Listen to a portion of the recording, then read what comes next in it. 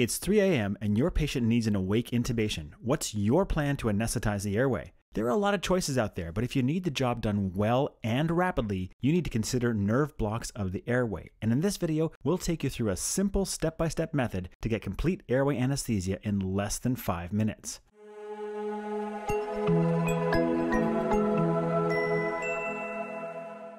It's super satisfying to pass the tube into the trachea with a patient wide awake and completely numb. And at the end of this video, we'll show you an example of just that. But I've seen my share of awake airways that were a painful struggle with gagging, coughing, and multiple failed attempts. Why is it so hard sometimes?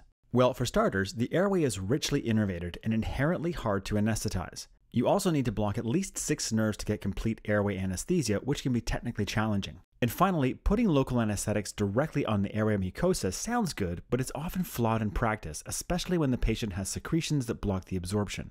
The airway is innervated by three principal nerves. The aptly named glossopharyngeal nerve innervates the tongue, or glossus, and the pharyngeal walls. It also takes care of the posterior third of the tongue, the vallecula, and the anterior surface of the epiglottis. This is the nerve responsible for the gag reflex, which can make or break your awake intubation. Remember this? Yeah, that's our friend glossopharyngeal. The superior laryngeal nerve is a branch of the vagus and innervates the inlet to the larynx, which includes the posterior surface of the epiglottis, the aryepiglottic folds, and the upper surface of the cords themselves. The nerve runs along the thyrohyoid membrane and then divides. The internal branch punctures the membrane to innervate the airway, while the external branch continues on as a motor branch to the cricothyroid muscle. And then we have the recurrent laryngeal nerve, another vagus branch, that innervates the airway at and below the cords. The palate is innervated by the maxillary branch of the trigeminal, but it's not all that clinically relevant for our purposes. Note that the cords themselves are co-innervated by both the superior and recurrent laryngeal nerves.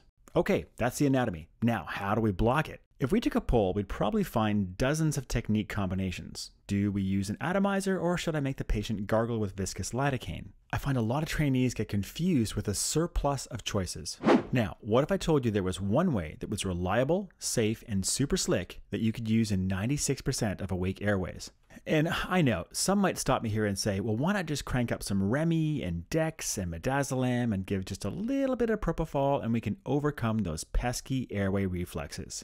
Well, sedation can be a useful adjunct, but there are two drawbacks. First, patient cooperation is critical for these procedures, and more importantly, if you oversedate, you turn a potentially bad airway into an emergent and actual bad airway. The secret to awake intubation is complete airway anesthesia. Let the local anesthetic do the work. So, back to our three sets of nerves. For each of these, I'm going to suggest a Plan A block that gets the job done for you when it counts.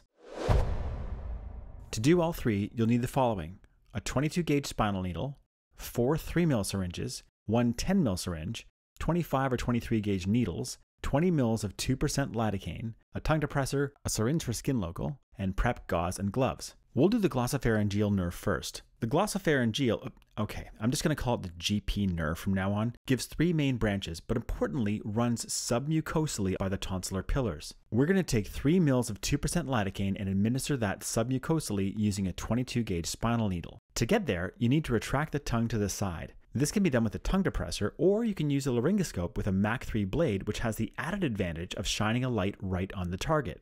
As you retract the tongue, you'll see the anterior and posterior tonsillar pillars, with the palatine tonsil in between.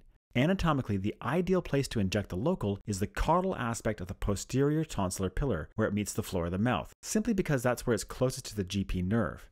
But studies and clinical experience have shown that putting the local at the base of the anterior pillar is just as effective in most patients and doesn't require as much mouth opening. Okay, let's see this done.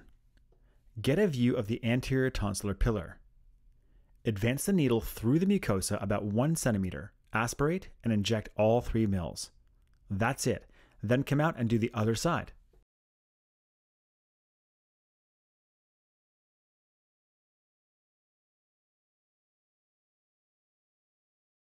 Pretty quick, pretty easy, and pretty well tolerated. Now, let's test this GP block. Mm hmm. Yep, just what I thought. If you aspirate blood, you're probably too far lateral and in fact might be in the carotid. Don't inject unless you want to make your airway really exciting. Pull back and aim more medial. If you aspirate air, you've gone through and through and are now in the pharynx behind the tongue. Withdraw and don't be quite so aggressive, Zorro. Next, we'll move on to the superior laryngeal nerve block. We're going to use a linear ultrasound probe to image the thyrohyoid membrane between the hyoid bone and the thyroid cartilage. Place the probe in the sagittal orientation just off the midline. Here we see the bright hyoid bone and the thyroid cartilage and can appreciate the membrane stretching between them. The tissue just deep to that is the pre-epiglottic space. You can't see the nerve in most cases, but if we put the local anesthetic just deep to the membrane, you'll block it. Here we see the needle inserted out of plane from the medial side. We'll often use small puffs of saline or local to locate our needle tip.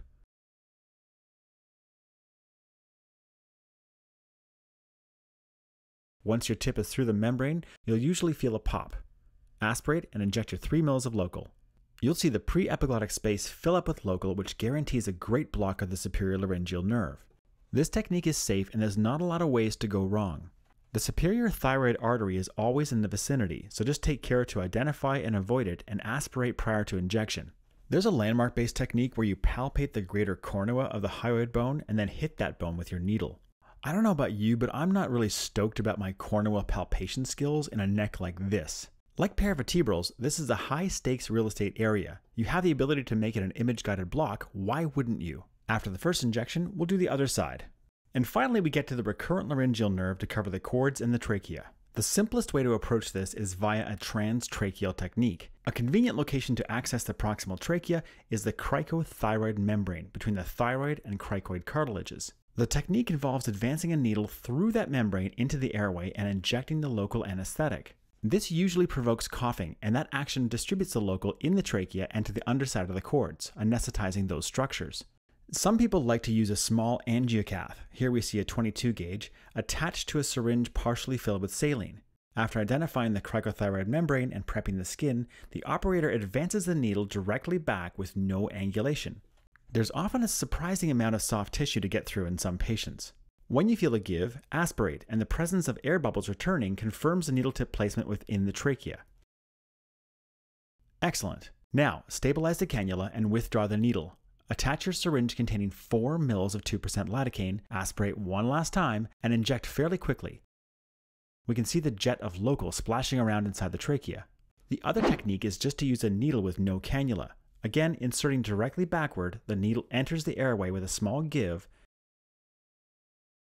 The operator stabilizes, aspirates air, and then injects quickly. I find this easier and faster than the cannula method, which involves an extra step and sometimes gets kinked. Some get worried about the sharp needle in the airway backwalling the trachea, which is possible, especially when the patient starts coughing. However, the trachea's diameter is larger than we often think, and with good stabilization, you minimize that risk. Now, how do we find the cricothyroid membrane? You could palpate, of course, which might be easy, but then again, wait, we have ultrasound, right? Cool. Airway POCUS to the rescue. Place a linear probe on the anterior neck below the Adam's apple and orient it in the sagittal plane you may need to be slightly off center to get the best image. What you'll see is this. These small dark ovals are the tracheal rings and look like pearls on a string. The bright wavy line underneath is the airway mucosal interface of the anterior trachea. Scan cranially until you see a much larger pearl that is oval and more superficial. This is the cricoid cartilage.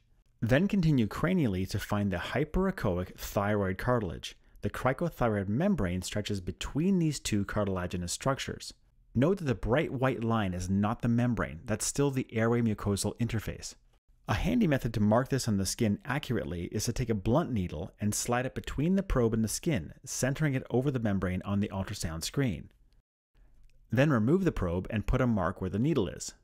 It's helpful to anesthetize the skin first before starting. You'll want to drop 4 ml of lidocaine in a 10 ml syringe, so there's plenty of room to aspirate the air back. Here it is one more time. Insert pop, aspirate, and inject. At the end of the injection, the patient starts to cough, which is normal and desirable to spread the local. And that takes care of all three sets of nerves.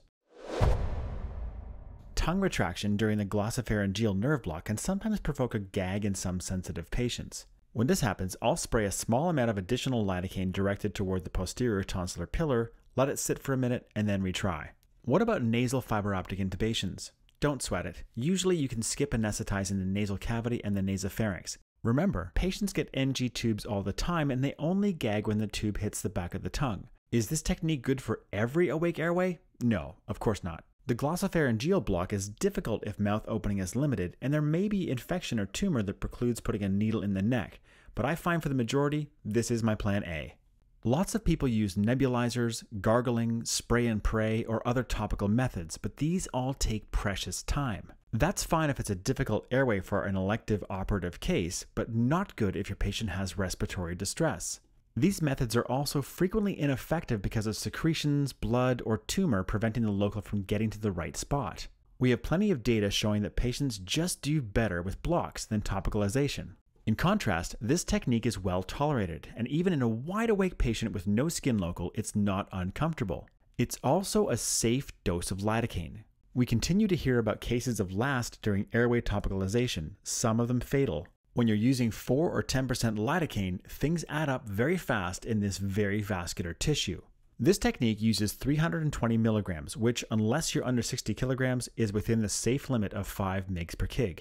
And maybe most importantly, these are quick to do. The whole set is done in less than 5 minutes, and by done, I mean ready to put a tube in awake. Speaking of which, let's see how our um, patient did with these blocks.